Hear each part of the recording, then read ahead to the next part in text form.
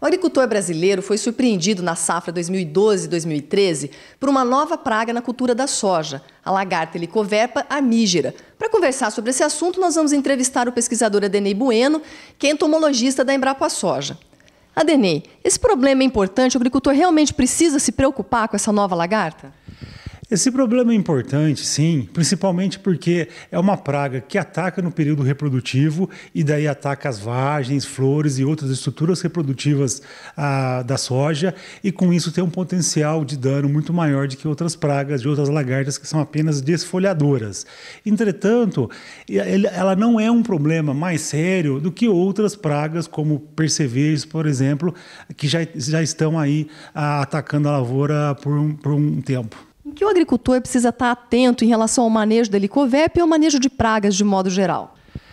Mais do que nunca, é importante que o produtor monitore a sua lavoura, volte a fazer a amostragem, uma prática que, infelizmente, devido principalmente a, a grande tamanho de área, ele tem abandonado nos últimos anos. E para fazer a amostragem, ele precisa utilizar o pano de batida, que é um instrumento bem simples de se utilizar, e com isso ele consegue detectar qual é a praga exatamente que tem na lavoura e que quantidade que a gente tem dessa praga, para daí sim tomar as medidas certas cabíveis. Rapidamente, qual seria um passo a passo para o agricultor ter um bom manejo dessa praga? É importante que ele não use exageradamente inseticidas. Então, já antes de plantar, se tiver histórico de ocorrência, principalmente nessa última safra, ele pode lançar mão de duas táticas: o tratamento de sementes com inseticidas ah, e também ah, o uso da, da soja BT, da soja transgênica BT. Ah, ele pode até ter dificuldade de comprar a soja BT nesse primeiro ano, porque a quantidade de sementes ainda é limitada, mas isso tende a melhorar nos próximos anos.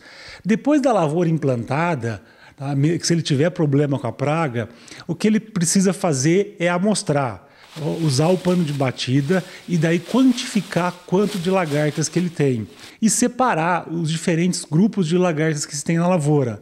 É muito difícil, praticamente impossível, no campo, você separar a helicoverpa armígera da helicoverpa zéia, que é a lagarta da espiga, que também ocorre na soja, e até da Heliotis virensis, que é a lagarta da maçã do algodoeiro, que também pode ocorrer na soja. Mas é possível, sim, ele separar esse grupo que a gente chama de Heliotínide, das demais lagartas. Ah, temos também o complexo de Spodoptera, principalmente Spodoptera cosmioides, Spodoptera eridânea, que causa exatamente o mesmo dano dos Heliotínides. E temos outras lagartas, como as falsas medideiras e a própria lagarta da soja. Separar esses grupos é importante para ele escolher o inseticida certo ou outra tática de controle e, no caso de inseticida, escolher a dose e o momento certo de aplicar. Então, o que a pesquisa sabe hoje sobre essa praga? Todo o resultado que se tem de pesquisa sobre essa praga vem, na verdade, da literatura estrangeira, porque não se conhecia essa praga no, no país. Tá? Ah, o grande problema dessa praga é que ela, ao atacar no período reprodutivo, muitas vezes a gente tem uma dificuldade de, de, de pulverização, o que é comum, na verdade, para todas as pragas que ocorrem no período reprodutivo. Uma lavoura já mais adensada, ah, com isso o molhamento da planta fica um pouco mais difícil.